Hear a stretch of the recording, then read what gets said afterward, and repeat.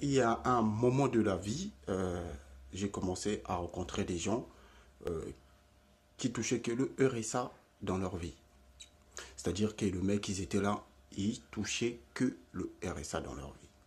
Il y en a qui avaient des boulots, mais c'était des boulots, des boulots de seconde, de, zone.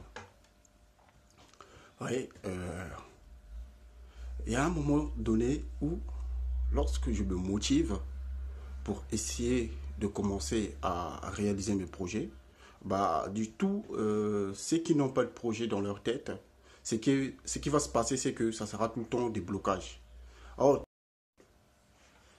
Bonjour les amis, c'est un honneur et une véritable joie de vous accueillir aujourd'hui dans cette nouvelle vidéo. Aujourd'hui, je veux parler de comment on se perd dans sa vie, comment on peut se perdre dans plusieurs facettes de notre vie. Alors, lorsque je suis arrivé en France en 2012, j'étais arrivé dans une cité à Aulnay-sous-Bois, dans le 93.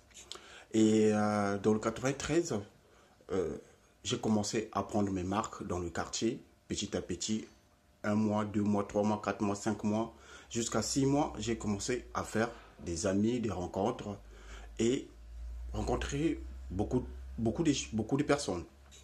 Après, il y a un moment de la vie, euh, j'ai commencé à rencontrer des gens euh, qui touchaient que le RSA dans leur vie. C'est-à-dire que le mec, ils étaient là, ils touchaient que le RSA dans leur vie. Il y en a qui avaient des boulots, mais c'était des boulots, des boulots de seconde, de, de, de zone. Euh, il y a un moment donné où, lorsque je me motive pour essayer de commencer à réaliser mes projets, bah, du tout, euh, ceux qui n'ont pas de projet dans leur tête, que ce qui va se passer, c'est que ça sera tout le temps des blocages. Oh, toi, oh, tout le temps, tu me parles de tes projets là. On est en France, gars. On est en France. Hein? En France. Aujourd'hui, si tu si tu travailles pas, demain, tu peux trouver un autre boulot. Tu vois, c'est des réponses comme ça. Quand tu veux faire quelque chose, mais ce sont tes amis, c'est devenu ton quotidien, c'est devenu ton environnement. Ce qui fait que moi, petit à petit, j'ai commencé à oublier tous ces bonnes, mes bonnes habitudes, mes bons mes, mes, mes, mes caractères mes croyances hein, mes croyances l'amour le partage la gaieté hein, l'esprit l'esprit de solidarité hein, le respect envers d'autres humains j'ai commencé à oublier tous ces petits euh, tous ces gros, tous ces valeurs là bah tout simplement pour suivre des personnes qui n'avaient rien à s'en foutre de leur vie hein.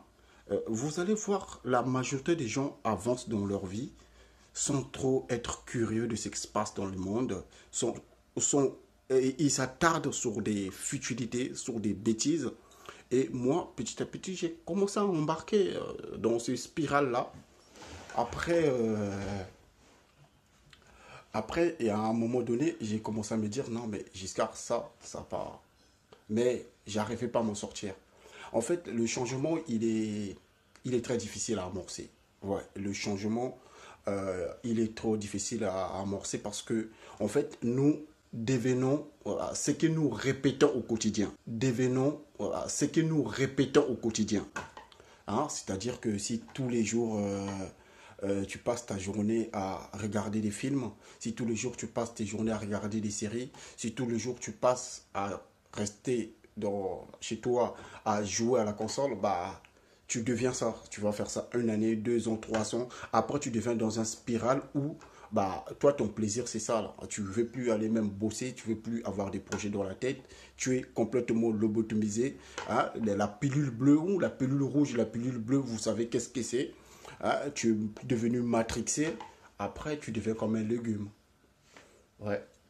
Et moi, j'ai pour arriver à comprendre toutes ces choses-là, bah, tout simplement, j'ai commencé à arrêter pas mal de choses. Par exemple, j'ai commencé à... Ça fait... Hier, j'ai mangé de la viande. Hier, j'ai mangé de la viande, mais ça faisait un an que je mangeais plus de la viande.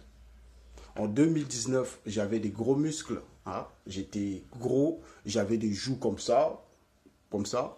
Aujourd'hui, je me retrouve avec des rides et je me dis, Giscard, c'est le prix à payer. Hein, Il y a beaucoup de croyances que j'ai crues dans ma vie qui étaient tout simplement fausses. Donc, euh, vous vous rendez compte Et petit à petit, je me commençais à m'enfoncer, à m'enfoncer. Je commençais à aller en boîte le week-end et je devenais comme un légume. Quand j'ai touché mon téléphone comme ça, vous voyez, ça c'est un téléphone que j'ai depuis 2018, ce téléphone-là. Depuis 2018. La qualité de l'image, elle n'est pas bonne. Mais moi, je m'en fous un peu. Je m'en fous un peu de l'image. Je m'en fous un peu de ce que, euh, ce que je peux représenter sur, euh, sur les gens. Si je peux apporter un peu de clarité, si je peux toucher une personne qui sache que il perd son temps à rester 4 heures, il ne s'instruit pas. Il s'instruit pas. Moi, j'ai été comme ça. J'ai été légumé, matrixé dans Facebook. Même mes photos, j'étais obligé de faire Photoshop pour montrer que je suis beau, pour montrer quoi que ce soit. Mais aujourd'hui, je m'en fous un peu de ça. Je veux être moi-même. Je veux être honnête envers les regards. Si je peux toucher une personne, bah, il n'y a que comme ça que je veux commencer à éduquer mes enfants. Il n'y a que comme ça que je veux commencer à, à, à, inviter mes enfants à aimer ce qu'ils sont. Hein? Il a aimé son visage avec une calvétie, a aimé son visage avec une barbe blanche, a aimé ses visages avec tout ce que je peux avoir d'imperfection. Mais je ne suis pas là pour plaire à quelqu'un. Mais je ne suis pas là pour plaire à quelqu'un. Hein? Je ne suis pas là pour plaire à quelqu'un. Je suis là pour partager euh, des, des, des, des, grandes valeurs qu'on commence à perdre de nos jours. Des, grandes valeurs qu'on commence à perdre de nos jours. On ne devient plus nous-mêmes, on devient être dans la peau de quelqu'un d'autre, on voudrait être dans la peau de quelqu'un d'autre. Moi, je vois ça. Moi, je vois ça. Moi, je vois, il y a, a, à l'époque, je sortais avec des filles. Pour sortir, si elle n'a pas de perruque, elle ne peut pas sortir. Ouais, parce qu'elle a honte d'être elle-même. Elle a honte de représenter ce qu'elle est.